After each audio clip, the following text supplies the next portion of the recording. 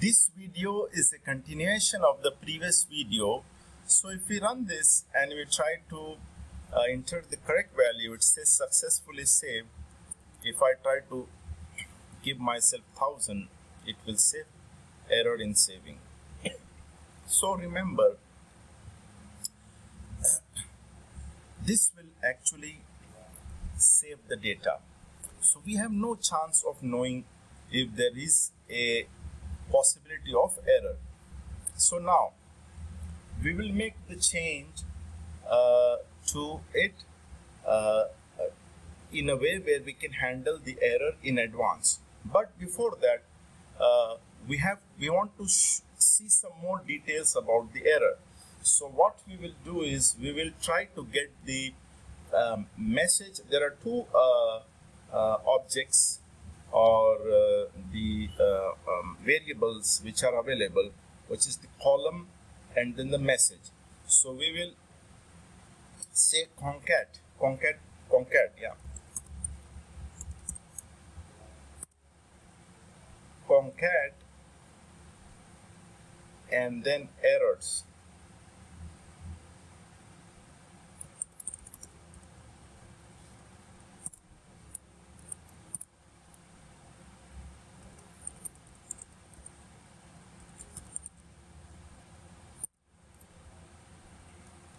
then we'll try to get the column name. Column. Concat that. Column and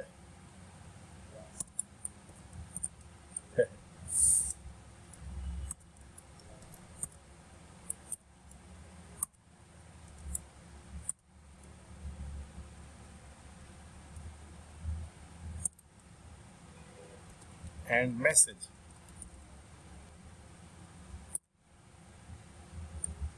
Comma notification type.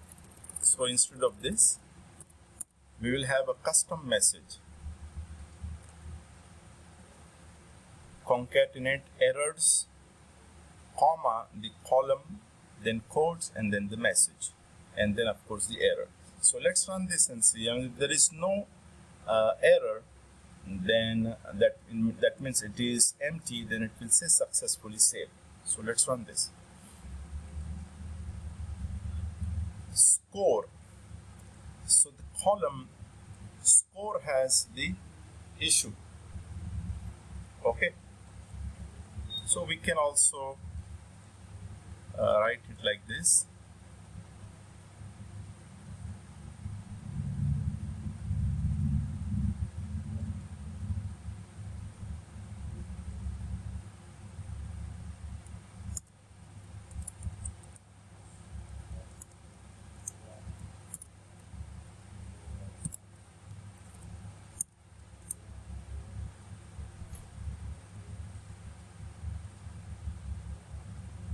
error in score, the value was, must be between 0 and 100.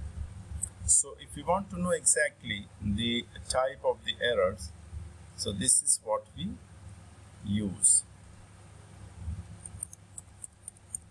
So we with more description, error in column score, value must be between 0 and 100. So, okay, so we'll put a space back there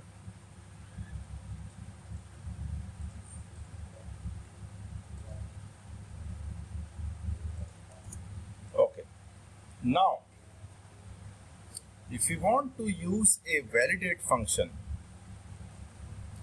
okay, if you want to use a validate function, then you can check it in advance.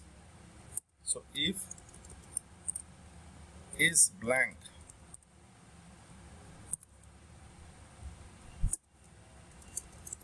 and then validate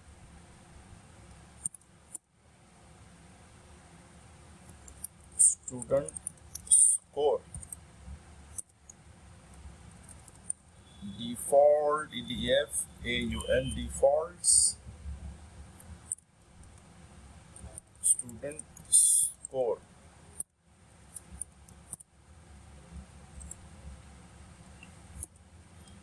And then open bracket close bracket. Inside this we'll have title is text input underscore title dot text comma score is value of text input underscore score o dot text.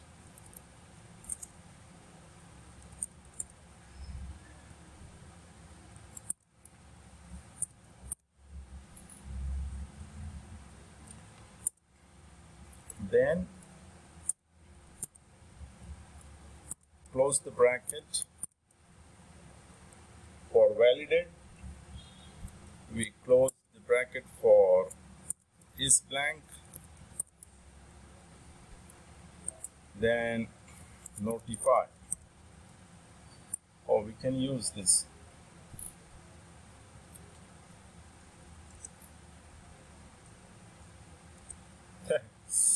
Valid. Now we are not saving. Valid data entered.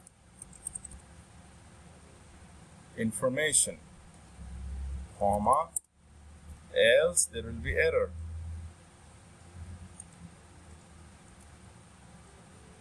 invalid data entered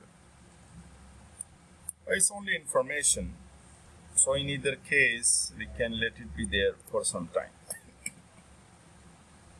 Here we can make it error. Okay, now what is it complaining about? Okay, we haven't uh, closed one bracket yet and semicolon.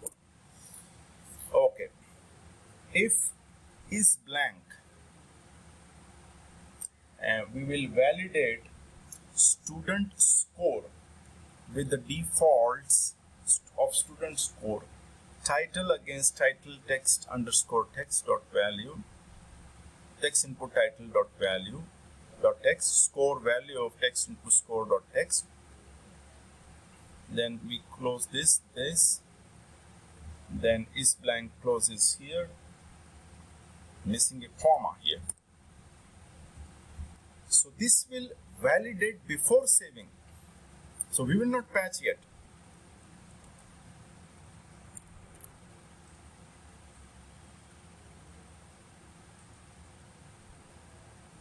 Invalid data entered. We are not going, we are not trying to patch anything. We are not trying to patch anything. Remember, we have not patched, it's not giving any error here.